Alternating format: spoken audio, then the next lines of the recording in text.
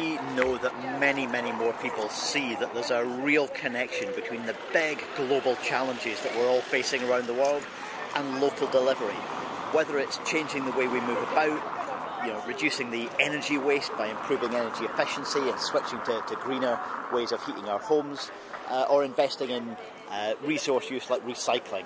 All of these need national policies, and we're putting those in place now, but they need local delivery. That's why we want Greens in the room in local councils, bringing uh, constructive pressure to bear, just as we've done at national level. And if people do think global and act local and give their number one preference to their uh, Green candidate, we'll be able to change local government in really constructive and exciting ways, addressing the climate emergency and the cost of living crisis in a coherent way. The Scottish Greens have always shown that constructive politics gets results we don't go in thinking, you know, opportunistically how to just knock down the ideas that are coming from others. We put forward our own solutions and we work with others where there's genuine common ground. That's what Green councillors will do. But we've also shown in the Scottish Parliament that you don't need to be in a formal uh, agreement in order to get results. For years, we were an opposition party doing that constructive opposition, bringing forward good ideas and trying to push the government out of its comfort zone. So, if Green councillors have the opportunity to do that, we'll be able to win significant change right around Scotland.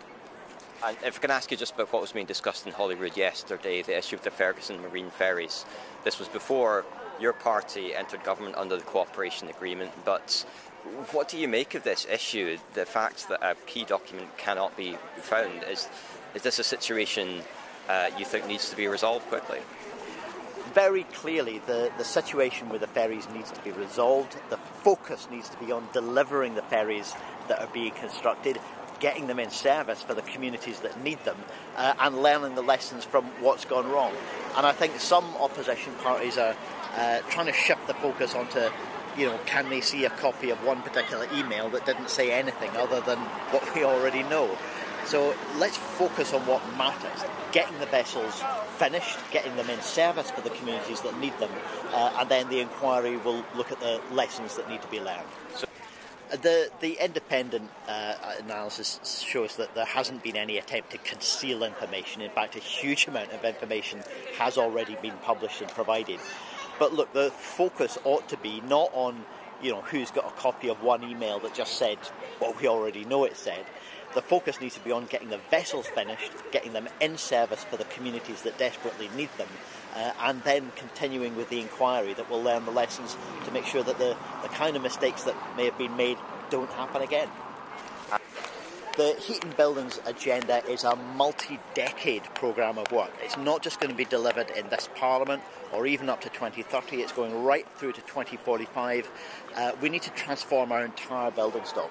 So, yeah, there's a huge set of questions that will have to be answered uh, about how that's financed, not just in the immediate short term, but in the longer term as well.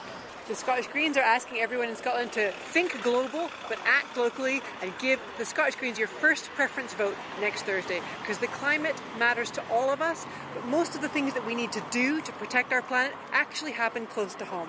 And that means excellent cycling facilities, safe walking facilities, safe town centres, great public transport, green spaces, recycling in our cities, all the things that make our lives good and create that well-being economy at home.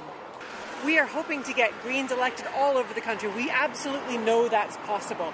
We know that the climate crisis is more on people's mind than ever before. And we also know that even having a few Greens in a council can make a massive difference. Highlands and Islands Council, for example, with only one Green, managed to declare a climate emergency. And we know that locally here, Alistair has been a great Green councillor. But we can get more councillors in that elected if people give us their first preference vote next Thursday, and that means protecting high streets, improved cycling and walking facilities, and protected green spaces in our cities.